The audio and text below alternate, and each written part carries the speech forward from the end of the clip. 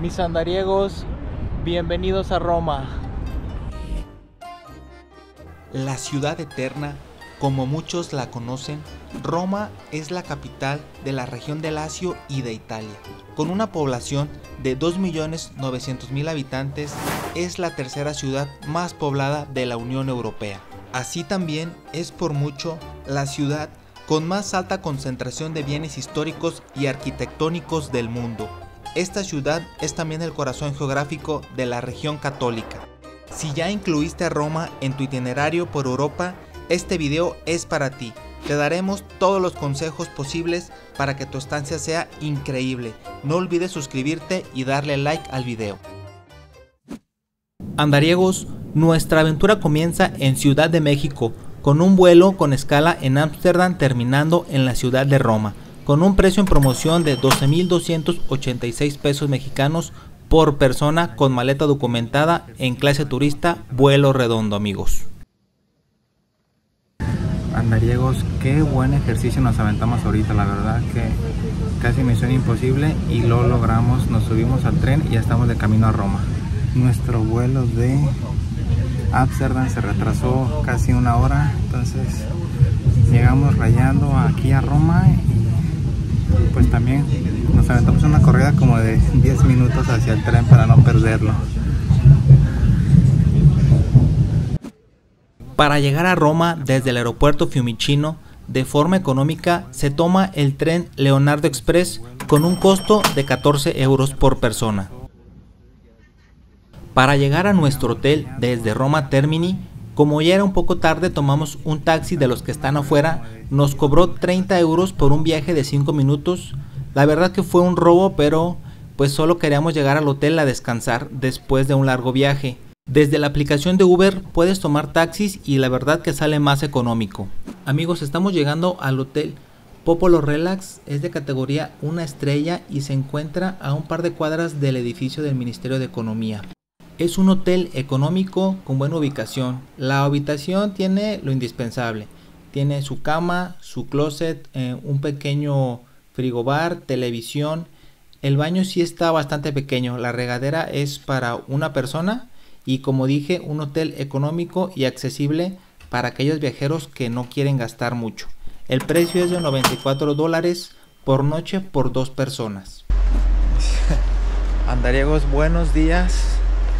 Hoy nos encontramos en Roma amigos, nos levantamos súper temprano para ir a la fontana de Trevi ya que pues hemos visto videos donde hay mucha gente a mediodía, entonces decidimos hacerlo temprano amigos. La verdad es que nuestro hotel tiene muy buena ubicación. Estamos a unos 6 minutos caminando de la terminal de Roma de, de trenes y pues cerca también de la fontana de Trevi amigos, unos 8 minutos a pie.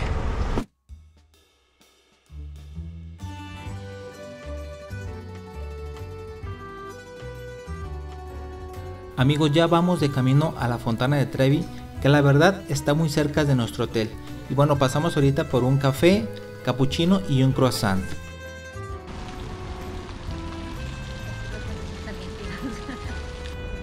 Nuestra primera parada fue un cafecito. Un cappuccino con su croissant.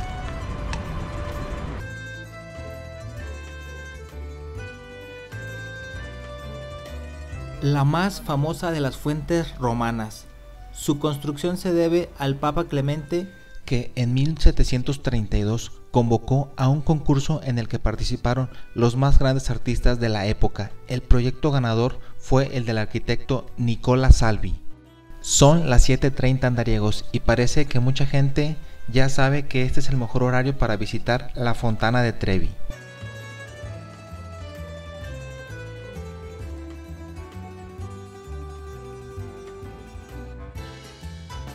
Antes de partir, no olvides tirar una moneda a la fuente, definitivamente regresarás a Roma como dice la costumbre. Si por otro lado estás buscando un amor italiano, deberás lanzar una segunda moneda. Amigos, y después de unas buenas fotos en la fontana, estamos de camino hacia el Coliseo, por un costado del Monumento Nacional a Víctor Emanuel II, el primer rey de la Italia unificada.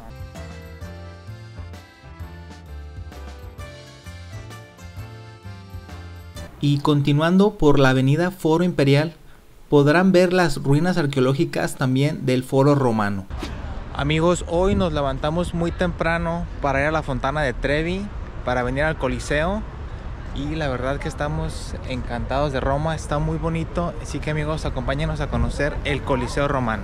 Si visitan Roma este 2024, eh, les tengo una mala noticia. Es muy probable que las inmediaciones del Coliseo sigan en remodelación.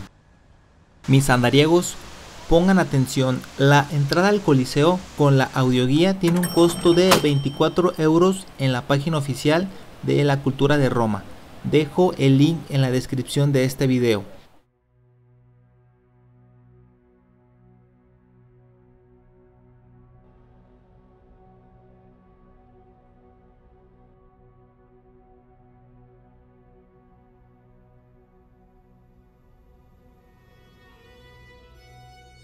Ahorita estamos caminando hacia la entrada, amigos. Aquí está donde uno entra al coliseo y ya tenemos nuestros tickets que compramos en internet.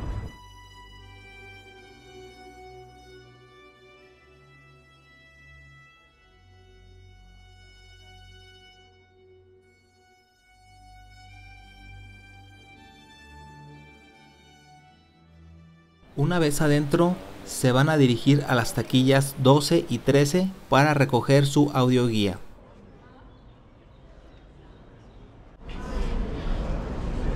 Aquí hay un mapa, mira, con un itinerario adentro. Planta baja, primer piso. Nosotros estamos situados en la planta baja, la número 1. Ahora muéstrame los tuyos.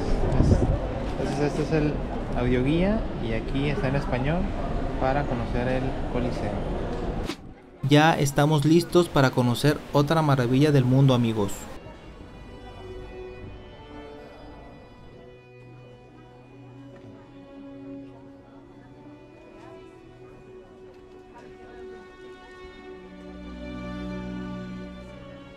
Construido en el siglo I y ubicado al este del Foro Romano, fue el más grande de los que se construyeron durante el Imperio Romano. En la antigüedad poseía un aforo para unos 65 mil espectadores.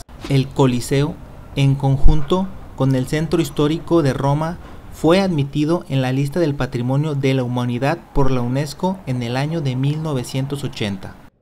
También se le considera un museo ya que cuenta con diversas salas en su interior donde se exponen esculturas arqueológicas de gran valor.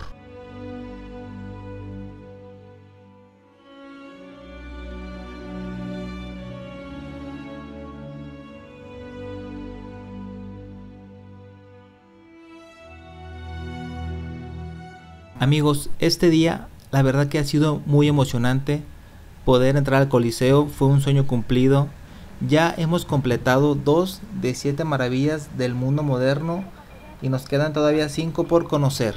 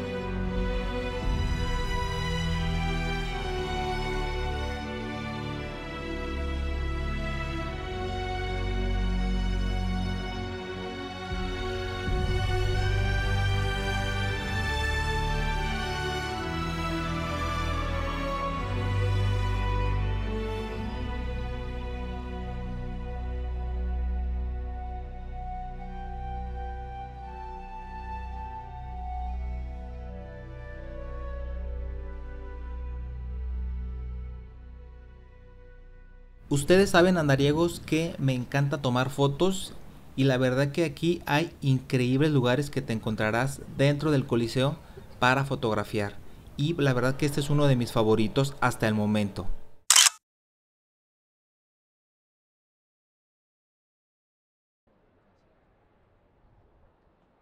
El recorrido completo por el Coliseo con la entrada básica es de aproximadamente una hora 30 minutos y me imagino que con el guía incluido puede durar un poco más. Ya estamos afuera del colección de Ariegos, vamos a pasar a un super aquí cercas a comprar algo de comer. Aún tenemos la visita al Monte Palatino y Foro Romano ya incluida en la entrada también.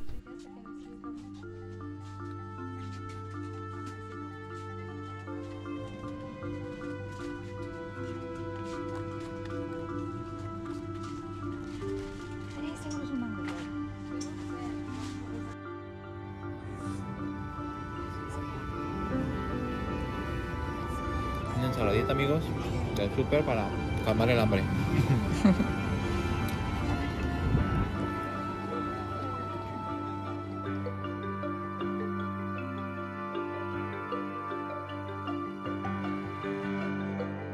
No gasten su dinero en agua amigos, en Roma hay muchas fuentes donde uno puede beber.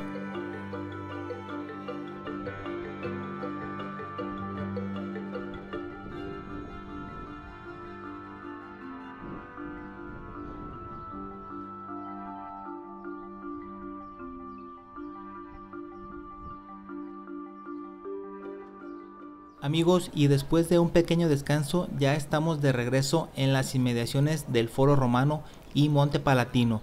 Este último se dice fue el lugar donde Rómulo fundó Roma y durante el Principado fue la residencia oficial de los primeros emperadores de Roma.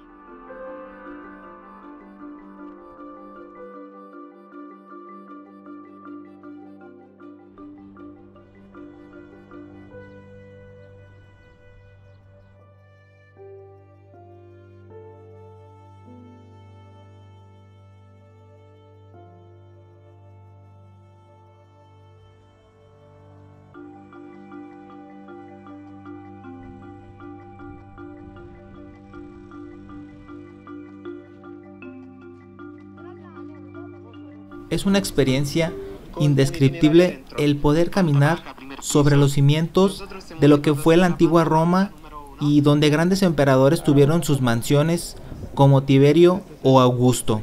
Por otro lado, el foro romano era la plaza principal donde se ubicaban las instituciones de gobierno, económicas y religiosas.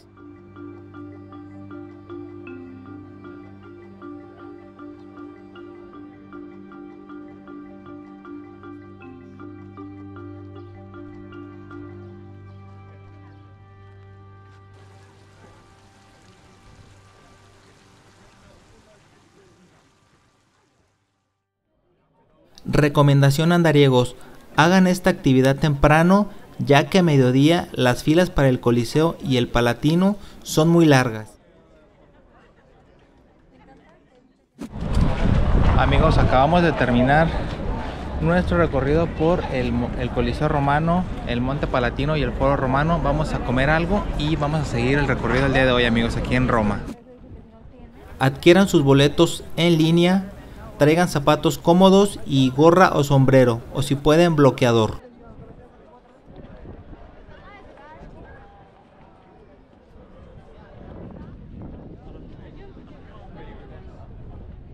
Amigos, ya nos estamos despidiendo del Coliseo desde uno de los puntos más instagrameables.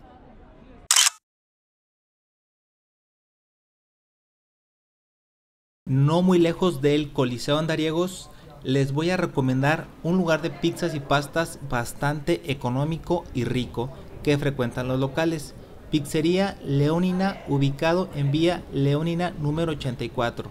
Les dejo el enlace de la ubicación aquí en la descripción. Bueno, vamos a probar qué es la cerveza italiana, ¿no? Sí. Vamos a ver qué tal es.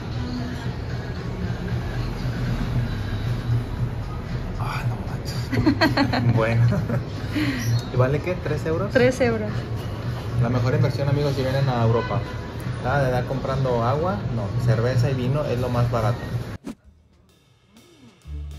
Yo me pedí una hamburguesa y mi esposa una pasta. Los paquetes tienen buen precio.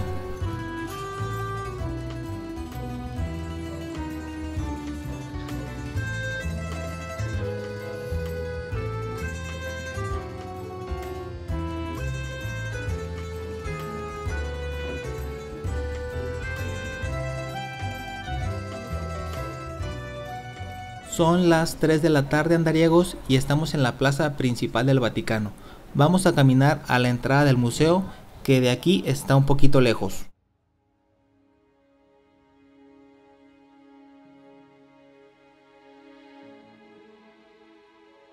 La entrada más económica al Museo Vaticano es de 25 euros y ya se la saben, aquí les dejo el link en la descripción del video.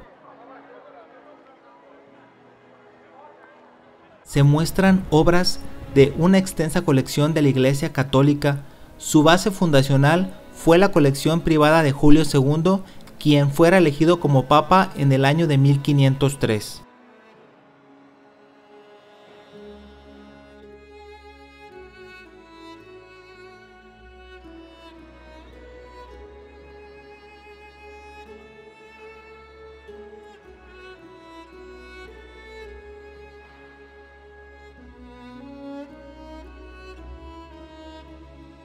El museo cuenta con grandes obras realizadas por artistas como Giotto di Bondone, no sé cómo se pronuncia, Leonardo da Vinci, Raffaello Sanzio, Guido Reni, así también como piezas y esculturas arqueológicas romanas encontradas en excavaciones hechas aquí mismo en el Vaticano.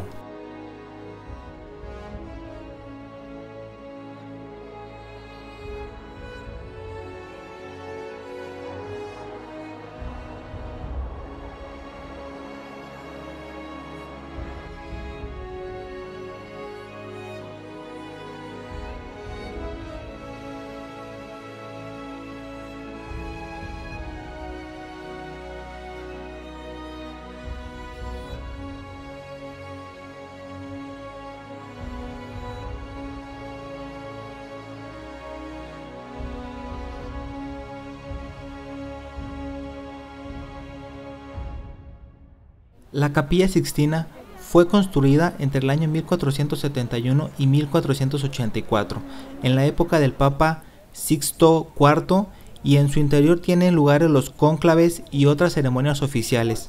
Es célebre por su decoración pictórica realizada por Miguel Ángel. Alrededor de 5 millones de personas al año visitan el Museo Vaticano, y es el segundo museo más visitado en el mundo, solo por debajo del Museo del Louvre en París.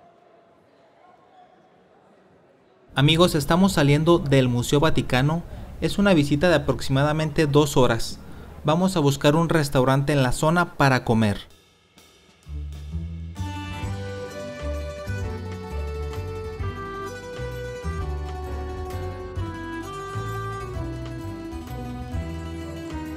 Entramos a Locanda ubicado en Vículo de Orfeo 19, un lugar muy tradicional y la verdad un sazón muy rico.